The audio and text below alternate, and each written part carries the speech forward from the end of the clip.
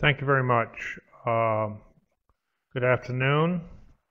I'm uh, in Leesburg, Florida at the present time in my computer room in the clubhouse of the community in which I live.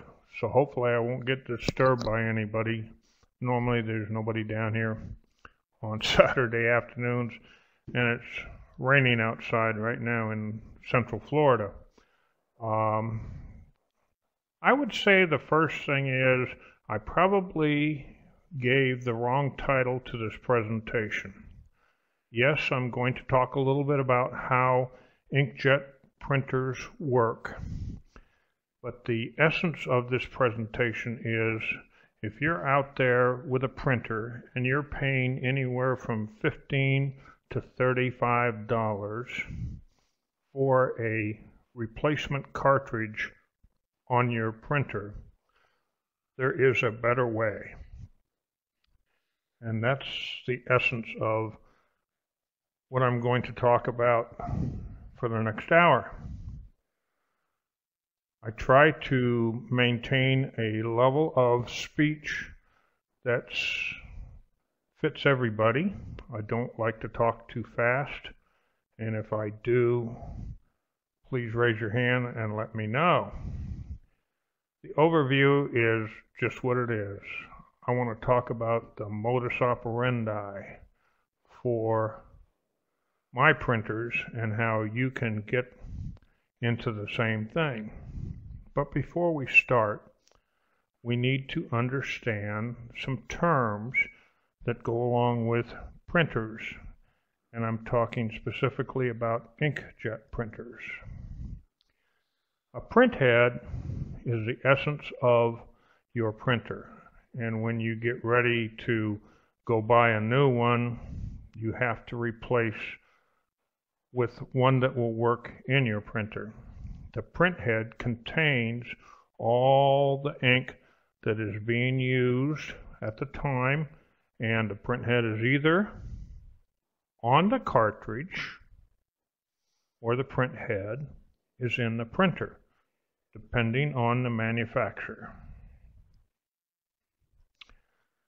Ink cartridges vary. Some of them are single cartridges for each color, and some of them are two cartridge printers, one being a black cartridge and the other one being a color cartridge. Again, depending on who makes the printer. But if we have a print head design, then there's two types. One being a fixed head and one being the disposable head. The fixed head printer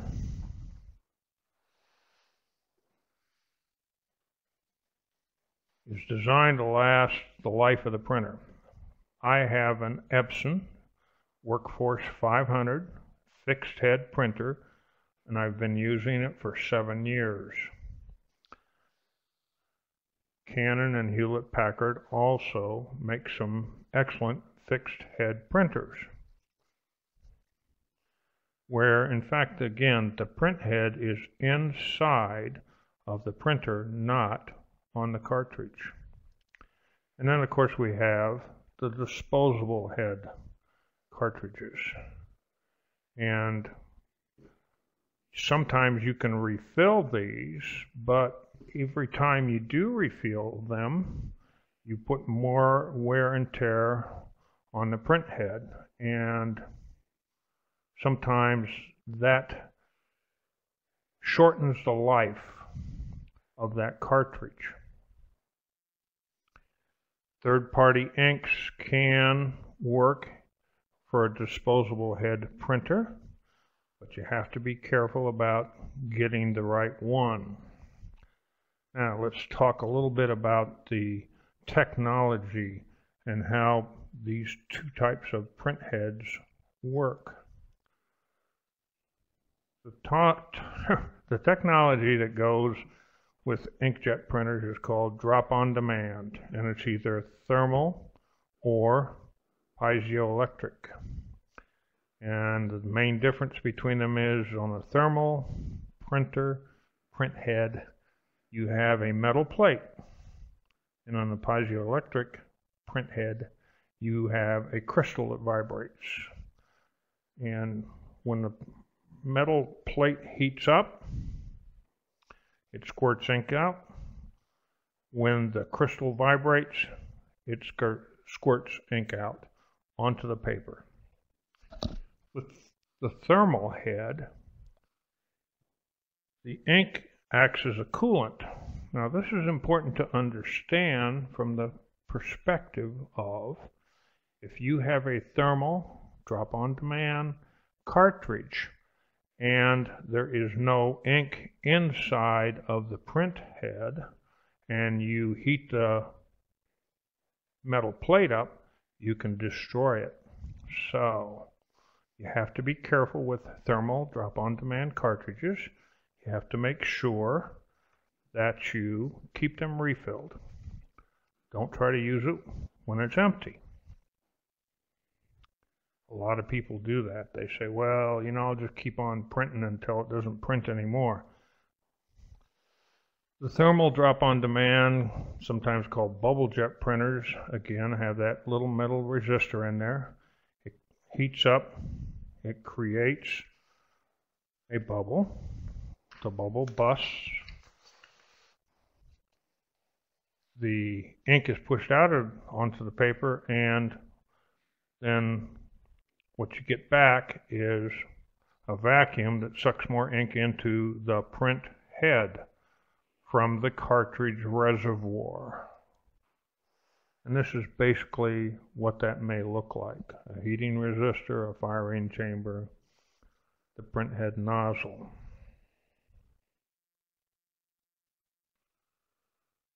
The piezoelectric printers, again, use the same kind of technology. Epson came up with this one. And the crystal vibrates it vibrates inward and a small amount of ink is squirted out through the nozzle head and onto the paper. And this is basically a drawing of what that might look like.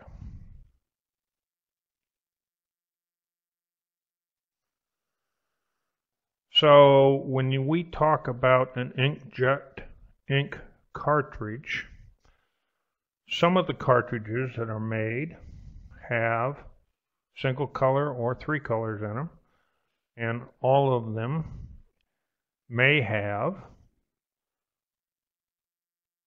a sponge inside the cartridge. This sponge is in there for a reason.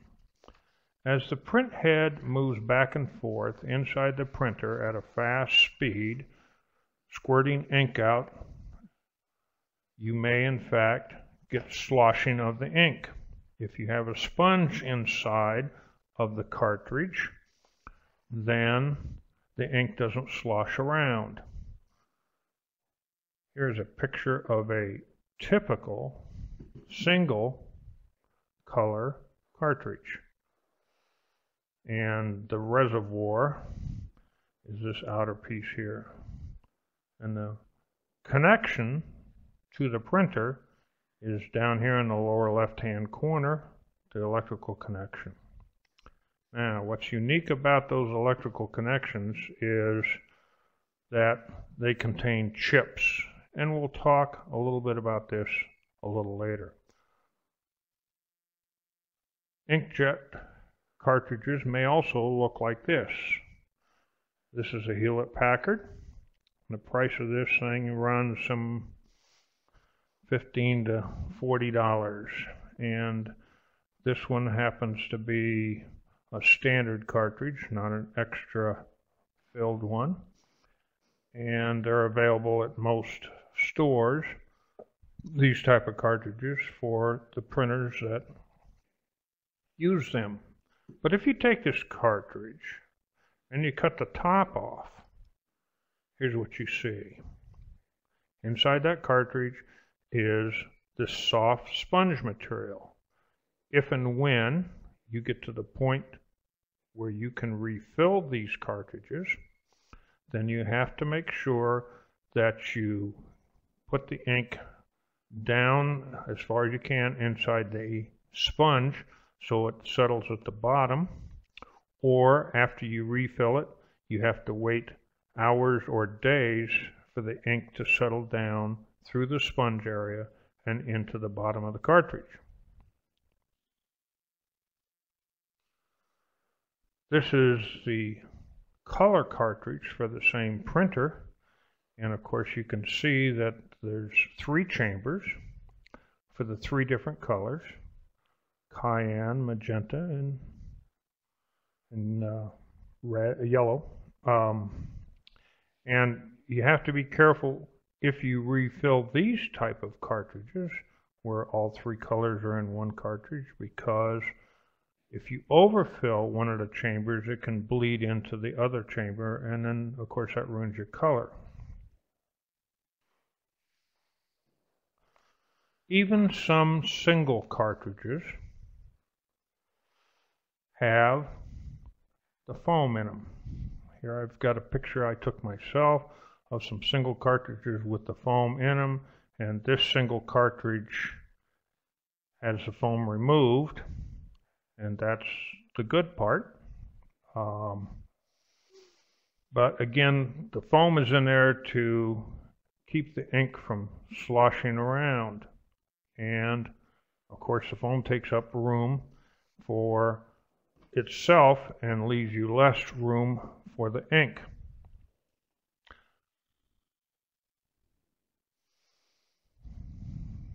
What is the most expensive liquid available to you? It's probably ink, okay?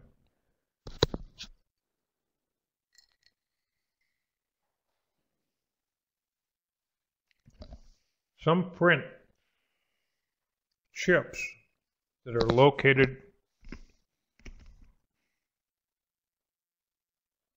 behind the electrical connection on the cartridge have a date set on them and therefore your cartridge will not work after that date. Some cartridges have ink remaining in them because of the sponge, but there's no way to tell unless you cut the cartridge open, and then of course it's not usable after that. Also, it's customary for the manufacturer of the printer to send you a cartridge with the printer, and those cartridges usually contain only 7 milliliters of ink. Now it's hard to envision sometimes what 7 milliliters of ink looks like, but if you take a look at my next picture, you'll see what 7 milliliters of ink looks like on a paper plate. Not very, very much ink at all. And the manufacturer is selling you a printer at a reasonable cost, sometimes even a loss to them, because again, they can charge you ridiculous prices for the ink that goes with that printer. There is an excellent article on the internet. I'm showing it at the bottom, the link to it. And that article, written by Consumer Reports, uh, covers just about what I'm saying during this presentation. If I checked this out a day, a day and a half ago, and that article still exists on the internet. It's available to anybody that wants to go and bring it up. So, how do you save money on printing? What can you do so that you're not using up your ink at a fantastic rate and therefore spending more money to buy replacement ink or replacement cartridges? Well, you can always print in draft mode. You can print in Grayscale. Some printers call draft mode and grayscale the same thing. Other printers, and of course, you need to go to your printer setting to set up whether you're going to print in final or in draft or grayscale. The low quality is usually good enough for what you want to get depending on what you're going to use it for. Also, there's been a couple uh, studies done by universities in the past that say that if you use Century Gothic font, you save 31% over Arial. And you can save about $20 a year. This entire presentation that you're looking at today was made on PowerPoint 2013 using Century Gothic font.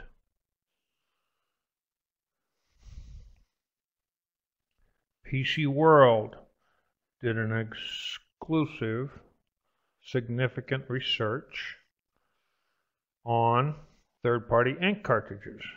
And there's their bottom line.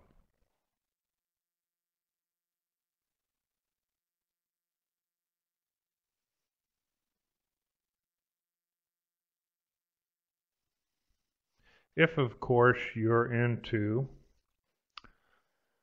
printing a lot of pictures, you may want to stick with OEM ink, but I've talked to some people that belong to the Lake Sumter Computer Society who are into a lot of pictures and they use a third party ink and find no problems with that.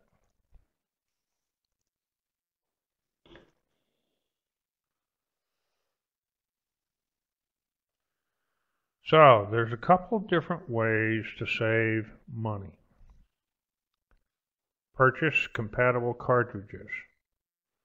Refill them up to 10 times. And I'm talking about the cartridges that have the print head on the cartridge. Again, don't try to fill a cartridge that's been sitting around for weeks or months. Even people that know what they're doing, i.e., professionals, have problems with that because the cartridge has been sitting around for weeks or months and the ink is dried up in the print head. Again, the cartridge that has the print head on it, the first sign that you get that it may be going dry, you need to refill it and keep it filled that way.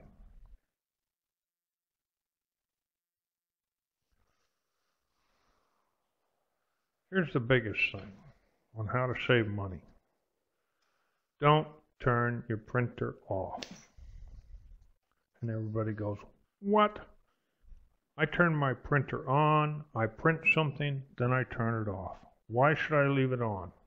Well, when you turn it off, the printer goes to a certain position and it dumps the ink out of the print head into the bottom of the printer, into an absorbent pad. Then when you turn it back on, the printer reloads the print head from the cartridge reservoir. And you print something, then you turn it off, and again, any ink that's still left in the print head is dumped to that absorbent pad underneath. There are no moving parts in your printer except when it's printing. There's no fan running, there's no software running. Occasionally, a little cycle will go through on your printer and heat the uh, resistor metal plate in the cartridge, not completely enough so that it squirts ink out, but heat it up a little bit to keep the ink liquid in there. All right? Including a nozzle check, if you do cleaning or nozzle check, anything else like that, you're dumping ink, all the colors, into the bottom of the printer. And you say, now wait a second. How can you be dumping ink into the bottom of the printer? Depending on the manufacturer, you have felt pads like this in the bottom of your printer, or you may have sponge pads, or you may have a spittoon, okay? And this is where the ink that's dumped when you turn the printer off goes.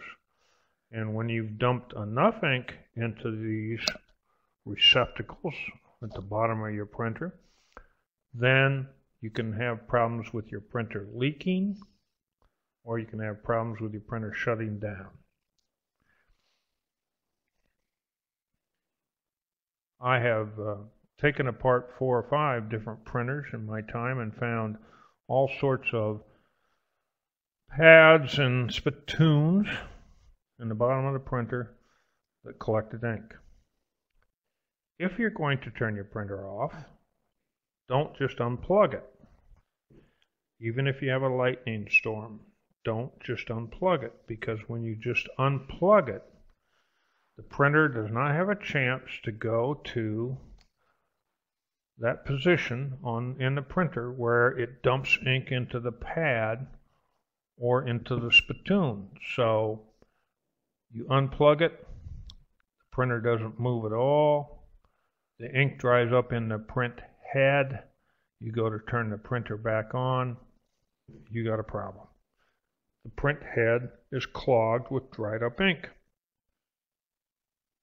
So, properly power down your printer when you're going to turn it off. My rule of thumb is simply this. If Joyce and I are going to leave the house for more than three days, I turn my printers off. If I'm not going to leave the house, I leave it on, even though I may only print once or twice every three days you dump more ink from the print head than it takes to print a page normally. Not a picture on a page, but of course words on a page. Here's a picture. Oops, cleaning head. I'm sorry, cleaning head uh, process. Okay, when you run a cleaning routine on your printer, okay, the ink goes into an area called a spittoon. And sometimes if you get too much ink inside the spittoon, it can stack up, touch, touch the print heads as they move across that area and actually clog up the print heads because they're little tiny holes, not even uh, as big around as a human hair. Let's take a look at a picture of a spittoon out of an HP printer. We have a spring-loaded rubber wiper that wipes across the head and then right next to the rubber wiper is this area right here and this is called the spittoon. This is where you dump ink. So, Again, how do we save money on the ink that we buy for our printer? It's not hard, but first you need to find out what the normal price is for your ink cartridges by going back to the original equipment manufacturer. Sometimes they have sales, but normally you're going to find that the ink is pretty expensive. Then the next thing you need to do is go to Google or your favorite search engine and Google your printer. Example I show there is I Googled Epson Workforce 500 refill cartridges. And then I looked through what the results that I got out of that. Then I Googled again Epson Workforce 500 refurbished cartridges. And then I Googled Epson Workforce 500 cheap ink.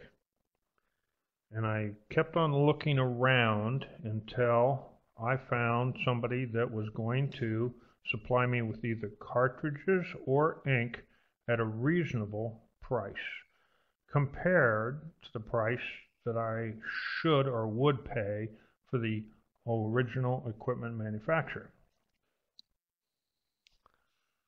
Find the best replacement. And sometimes they're not the cheapest. And of course, we have seen in the last couple of years an awful lot of storefronts that are all of a sudden supplying cartridges or refilling cartridges for people who bring them in. If you go to the internet or you go to a local area storefront, I think it's important that you know what is their what if policy. They're going to be your supplier for ink. What if? You let them refill your cartridge, you take it home, you stick it in your printer, and it doesn't work.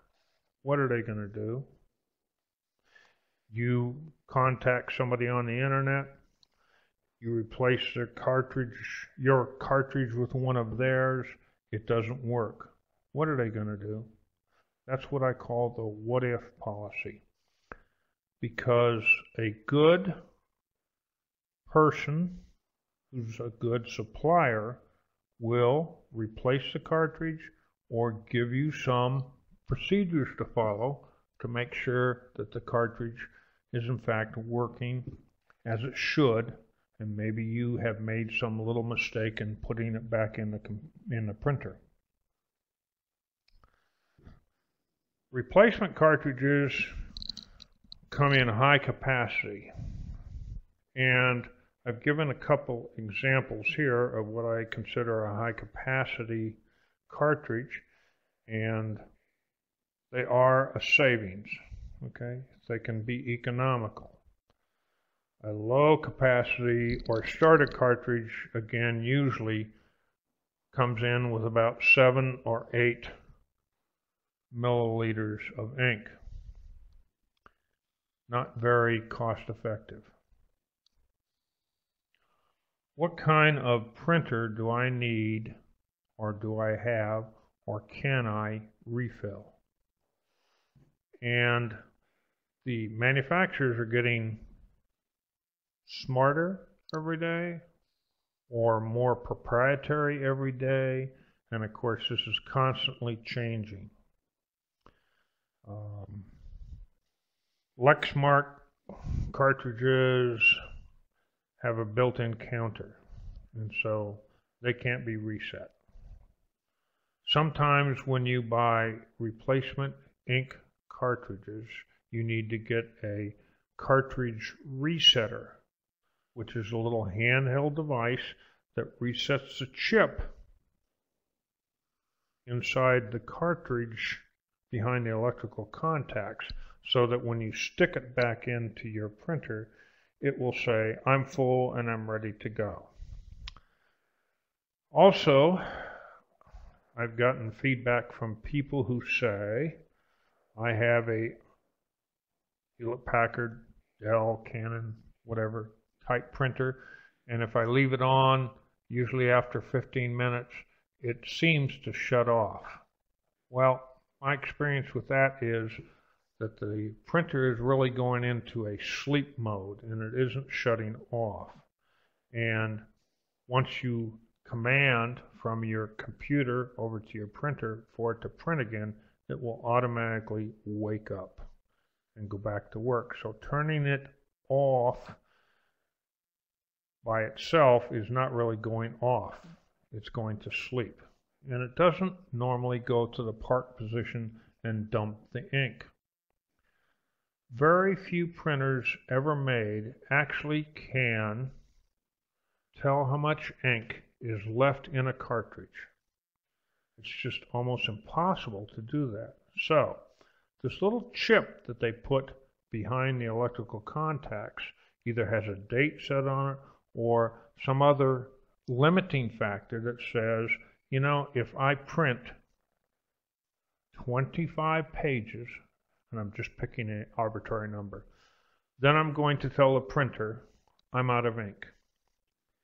And guess what? You're throwing ink away because you're replacing the cartridge because it said it was out of ink. Okay? Some printing printer printer manufacturers are now changing the chips on their cartridges. And so the, when you stick the cartridge in a printer, the chip says, oh, I'm this kind, and if it's not the right kind, the cartridge will be rejected. Uh, some printer manufacturers are also doing a self-destruct on the chip that they put into their cartridges. So when you buy a cartridge, you're paying extra for the chip that prevents you from shopping for the best deal on a printer with replaceable ink cartridges. Also, a lot of people are concerned about warranty. Well, the Magnuson-Moss Warranty Act, 1975.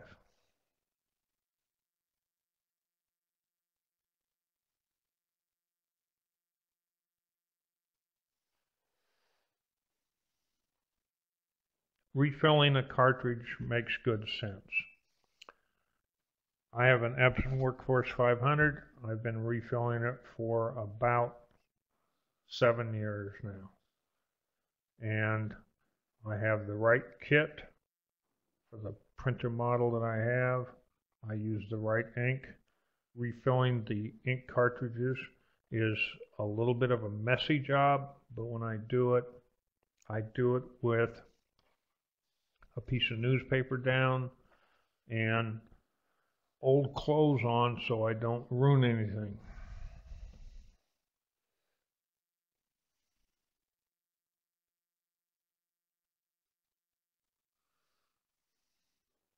Ink composition varies from one manufacturer to the next, and especially with bubble jet, thermal bubble or bubble jet pinners, um, if you're using the wrong ink, it won't heat up like it's supposed to, and etc., etc.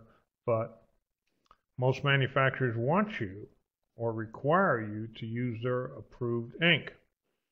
And if you're using somebody's refill kit or buying your ink somewhere else or your cartridges somewhere else, they may in fact say, well, you know, you used the wrong ink. You used the wrong cartridge. We're not going to stand behind your warranty.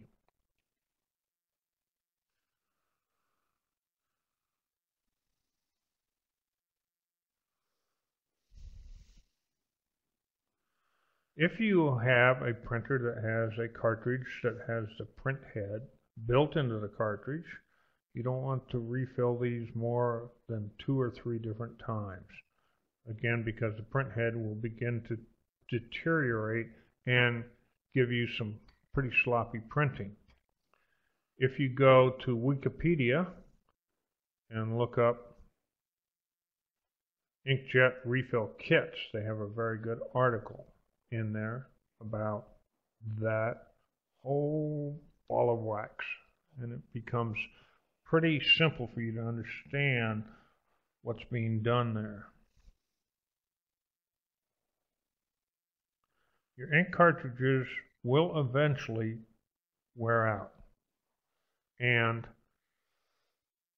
again, we're talking about the cartridges that have the print head on them. But regardless of what kind of cartridge you're using in your printer, if you see streaks or if you see areas where ink fails to print, then this is time for you to be concerned about the cartridge or the print head.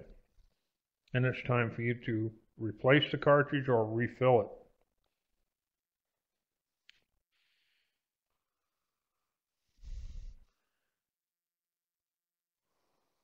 years ago, when printers were made, they had two cartridges, a black one and a colored one. And the color one was three colors, and the black one was for the black ink. And nowadays, this is not the norm. You can buy many different, many different printer from different manufacturers that have four, five, or six cartridges in them. Usually four or six, okay?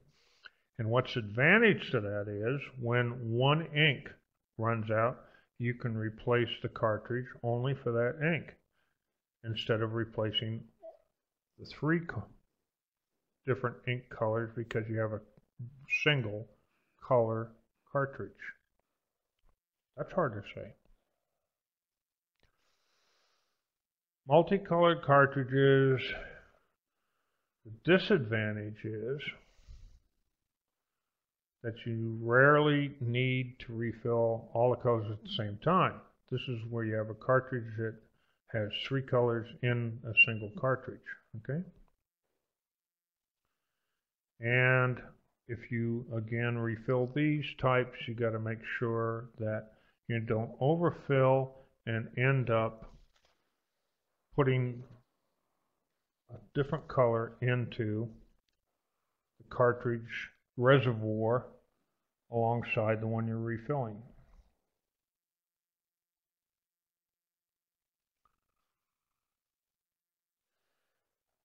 Reservoir cartridges, they're called that because basically that's all they are, is a cartridge that contains um, significant amount of ink. They don't have sponges inside. They uh, don't have print heads on them. They're easy to refill and they can be repeatedly refilled. I picked the Epson Workforce 500 printer for that reason. And I've been using the same cartridges for about five years out of the seven. Okay? And I buy the ink in 100 milliliter bottles.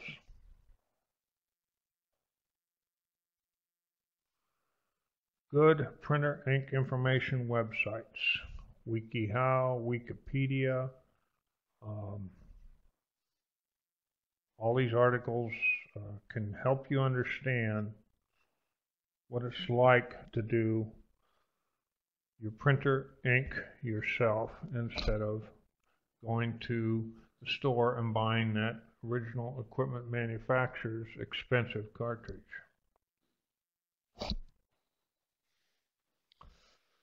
I have two trusted suppliers that I use when I order ink for myself or for people in my neighborhood or for people who belong to the Lake Sumter Computer Society, of which we have about 117 members.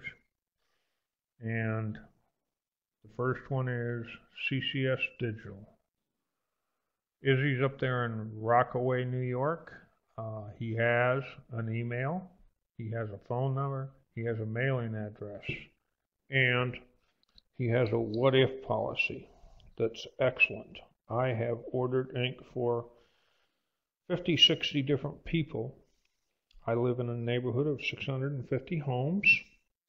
It's a 55 plus community, and I've ordered ink for many of my neighbors.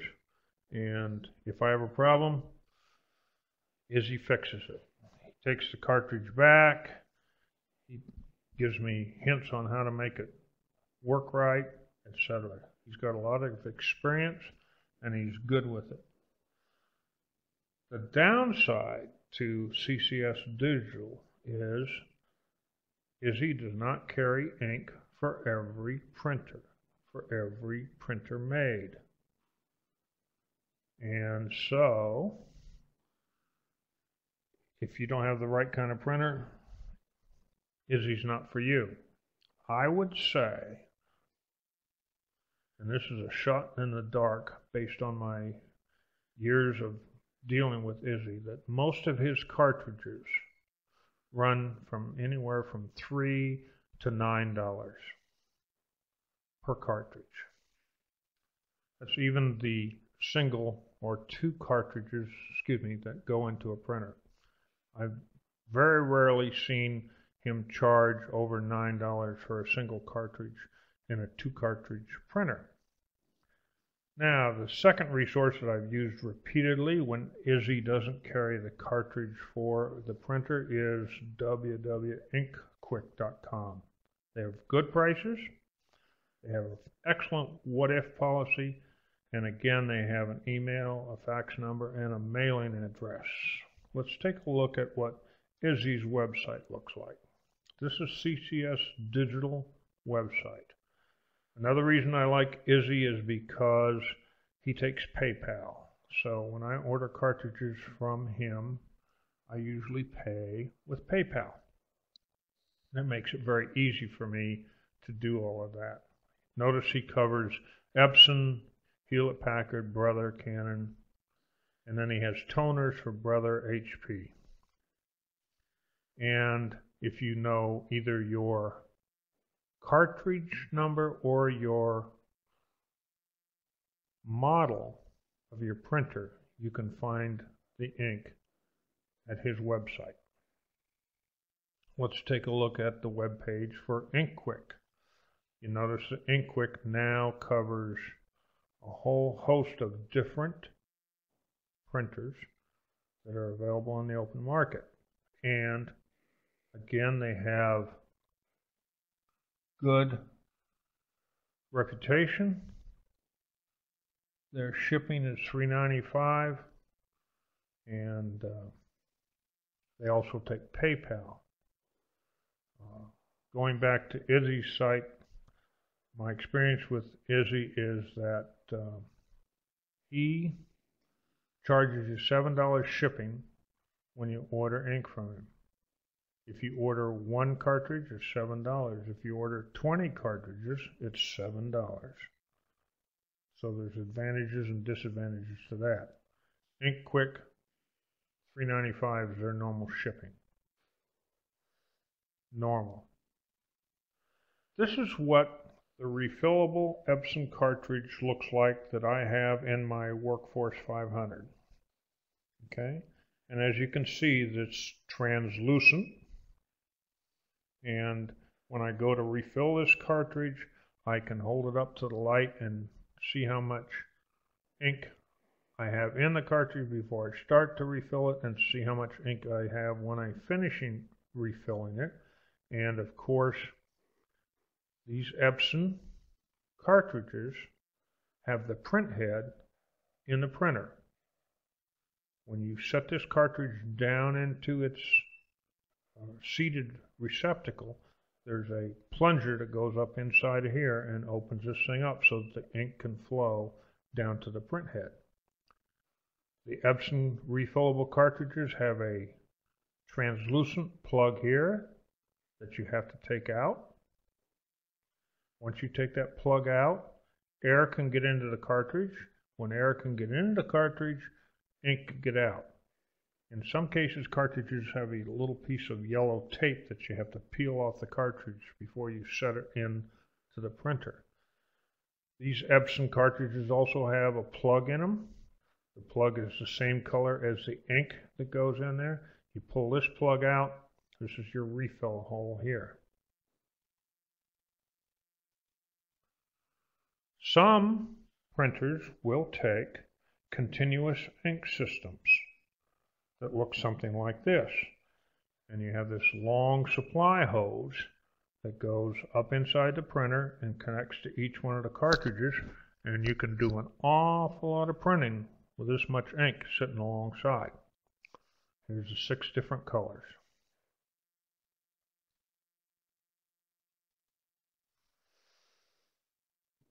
The Epson Artisan 835 we'll take the continuous system.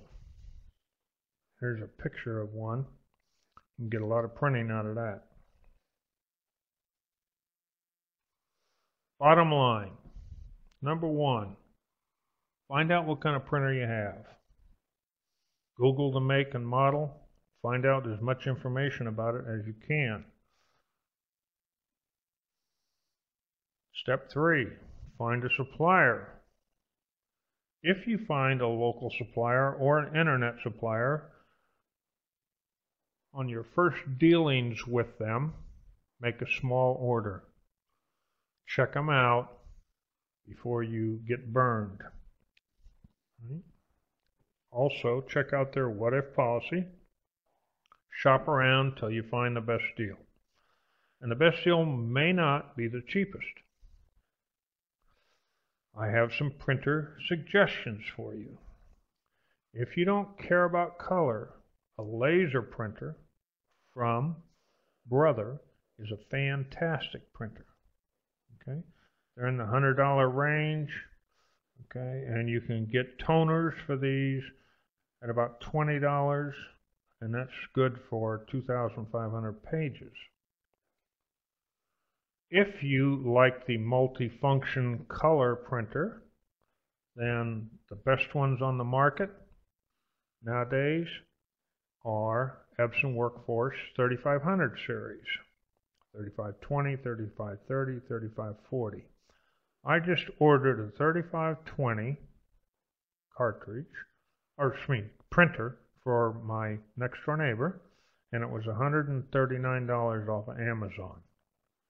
They duplex, they're fast, they don't use a lot of ink, and you can buy the double-sized blacks. If you're in an artist and into photography, or if you're a photographer and into photography, then you may want to get into the Epson Artisan 1430. It'll print as big as 13 by 19.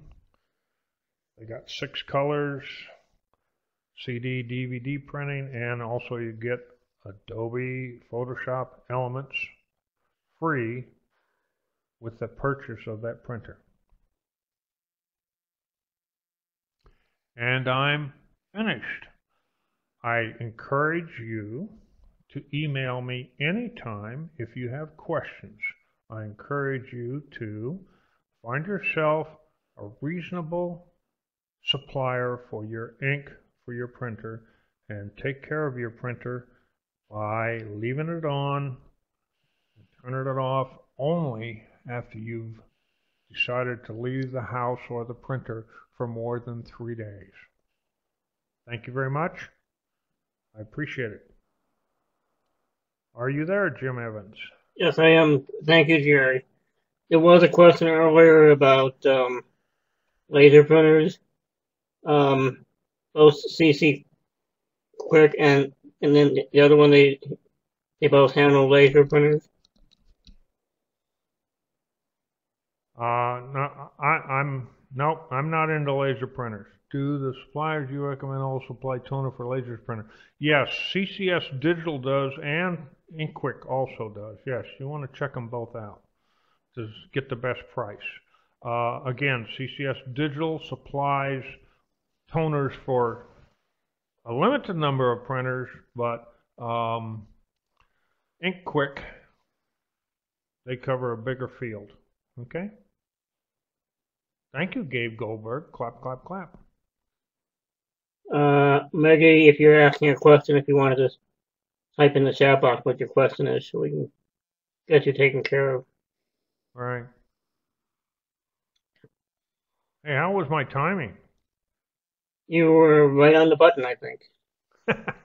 um, so uh, we're gonna stop the recording here in a minute or two to see if there's any more questions coming in. Is there anyone recommended for inkjet refill purchases? Uh, yeah, again, um, I would go with uh, CCS Digital for inkjet refill purchases. Because in the case of some printers, he offers uh, a single cartridge throwaway, uh, ones that can be uh, refilled and uh, used a limited number of times, and ones that can be refilled and used forever.